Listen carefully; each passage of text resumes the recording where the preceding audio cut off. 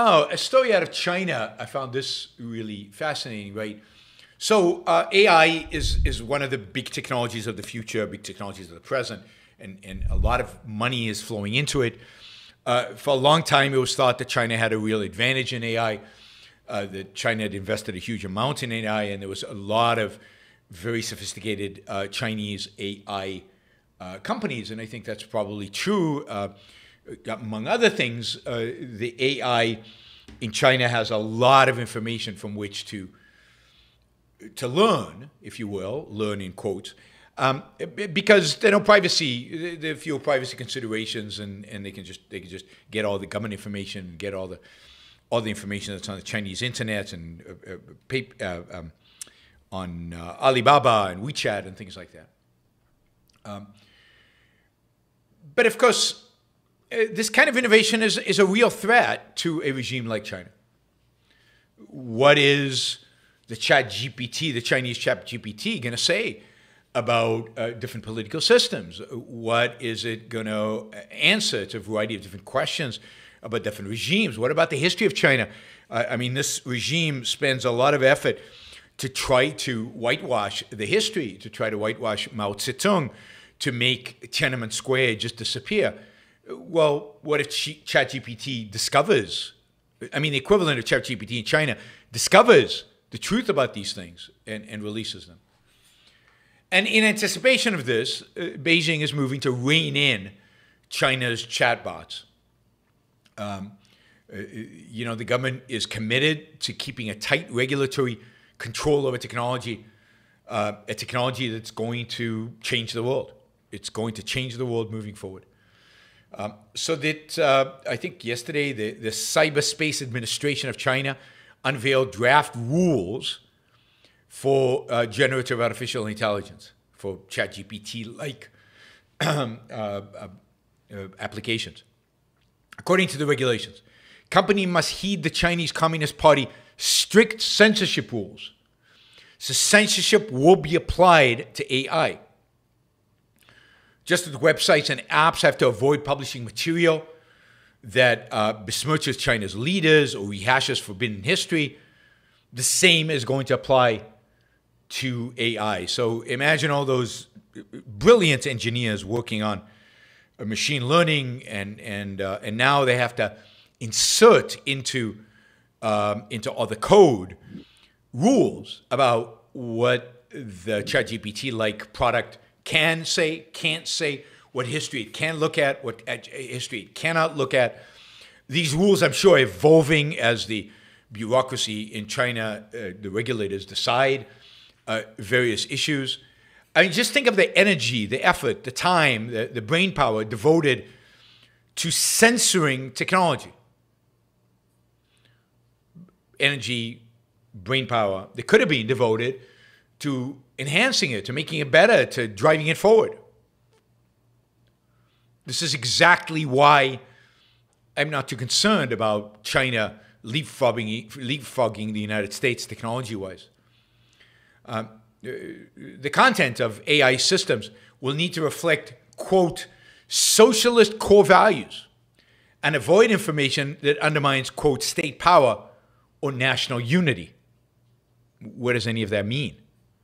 What are socialist core values? What undermines state power? What undermines national unity? Do you want to take a risk as a programmer that any of that, that, that your product violates any of these things? Sounds pretty risky to me. You might land up in jail or worse. Means you're going to put in all kinds of constraints on the software, all kinds of limitations on what it should, could do. Think about how that slows progress, slows innovation. What is it? It's force applied to the human mind. It's a gun pointed at your forehead. Don't mess with state power. You know, God forbid anything that your product says doesn't reflect socialist core values. Force paralyzes. Censorship paralyzes and it brings about lousy technology. It brings about, you know, failure to innovate, progress, succeed, grow. All the things we're afraid of China for, it's not going to happen because of these kind of things. Companies will have to make sure their chatbots create words and pictures, words and pictures that are truthful and respect intellectual property. Truthful, truthful based on socialist core values, and respect intellectual property of Chinese, not clear if they will respect intellectual property rights of anybody else, given the Chinese government doesn't respect the intellectual property rights of anybody else. And they'll all be required to register their algorithms they, um, with regulators. Now, this is part of a story out of the New York Times, published. I know I'm not supposed to cite the New York Times, forgive me. Published yesterday. Um, fascinating story about the, the growing regulatory appetite. Um, uh, growing regulatory appetite of the Chinese government when it comes to AI. Um, uh, the, these are not final rules. They expect that these rules will change after consultation with Chinese tech companies.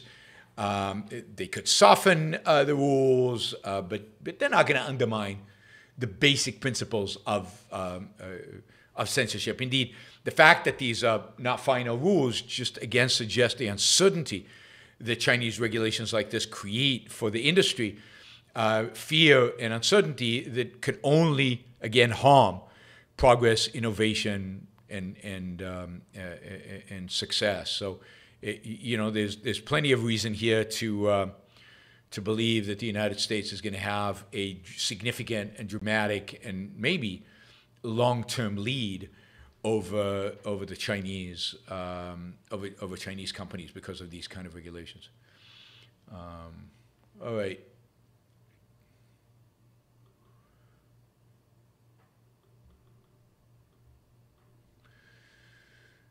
That I thought was interesting, and, and, you, and, and again, uh, both interesting and kind of following the path that I've been talking about in terms of what happens to Chinese innovation.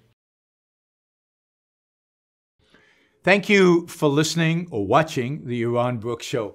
If you'd like to support the show, we make it as easy as possible for you to trade with me. You get value from listening, you get value from watching, show your appreciation. You can do that by going to yaronbrookshow.com slash support, by going to Patreon, Subscribestar, Locals, and just making a appropriate contribution uh, on any one of those uh, any one of those channels. Also, if you'd like to see the Yaron Brook Show grow, please consider sharing our content and of course subscribe. Press that little bell button right down there on YouTube so that you get an announcement when we go live. And for those of you who are already subscribers and those of you who are already supporters of the show, thank you.